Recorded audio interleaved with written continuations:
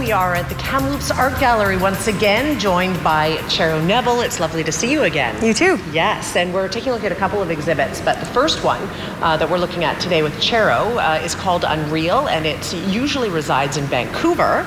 Uh, let's talk a little bit about it. Yeah, it's a collection of work from the Vancouver Art Gallery's permanent collection.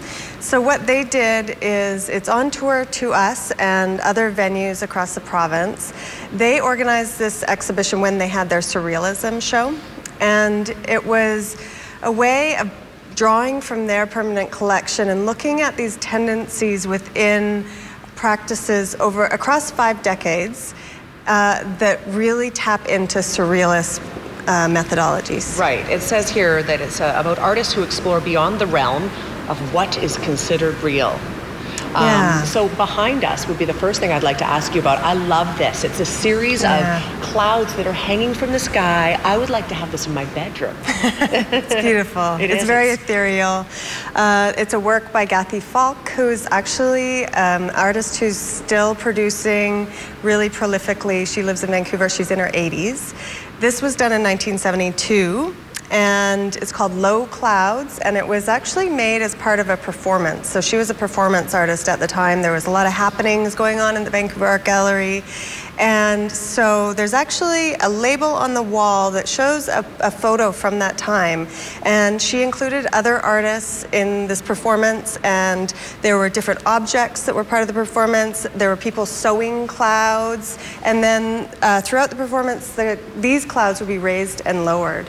So we actually do that as part of um, their time here, as we raise them and lower from time to time. They go up and down. Very nice. Yeah. While people are in here, do they go up and down, or you just choose the days and we're going to do them up It's higher? random. That's fun. Yeah. Random's fun. It keeps the work alive. Yes, it she, does. She talked about it like um, cloud ballet. Nice. That's how she described it. Yeah. Nice.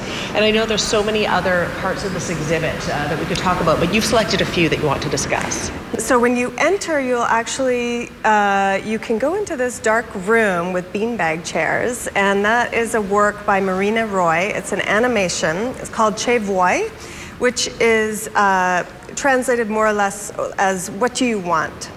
And it's tapping into this idea of our hidden desires. And so, what Marina did was she worked with um, Graham Meisner, who's a composer, and asked him to create a piece of music that she would then respond to through her animation. And it was this idea of him trying to tap into what she would want him to make. And so often he'll make music after she's animated a film, but they switched it around.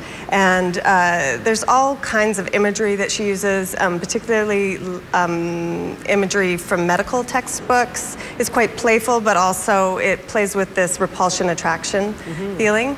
And another work that you won't miss is called Lubber, and it's this giant uh, felt sculpture that's right on the floor, and it's by Luanne Martineau and it looks like it's part machine, part organism. Um, it's got this big, wide kind of belly and all these tentacles that look like they could be parts of machines. Um, then there's these breast-like kind of things on it. It's all made out of felt. It has this feeling of being really comfortable and like you want to touch it, but also very unreal, very odd. Um, and it's playing with high art, low art. It's felt. It's on the floor. It looks like maybe a pillow.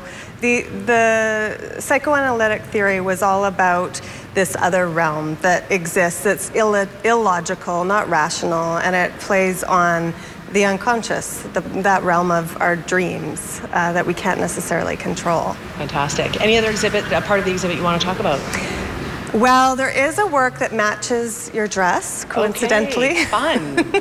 by Eric Metcalfe, who is an artist who's uh, in Vancouver. He was one of the founders of the Western Front, which was this kind of uh, hotbed for activity in the 1970s. It's an artist run center. And he had an alter ego named Dr. Brute.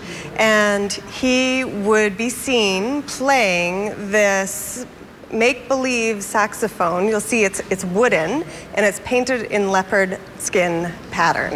Uh, and it has a kazoo instead of an actual mouthpiece. And then it, it goes into this beautiful leopard skin box that's kind of fur. And now we don't have him performing, but we have the remnant of the performance. There is a part of this exhibit that's into itself, like a separate room, and uh, there's ta- a table with um, uh, pencils on it. What that what is that about? Yeah, we've just uh, offered it up for people to come in, all ages. There's pencils and paper. There's a date stamp, and it's kind of riffing on this art lodge. They were a collective of artists out of Winnipeg who used to get together and draw. And so the invitation is to come in and draw your dreams. And you can see already the walls are filling up with people's drawings. It's incredible. We give them tape and you just tack them right up on the wall. There's books in there to read about all the artists in the show, and there's um, some videos on some of the artists as well. Lots to see. I wanna hide the truth. I wanna shelter